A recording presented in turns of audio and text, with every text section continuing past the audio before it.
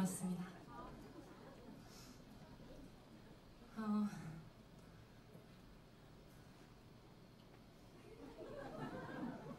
음... 그러면 좀 징그럽게 멘트를 하고 싶어졌어요. 화장이 들어간다. 여러분들 마음속에 넣그.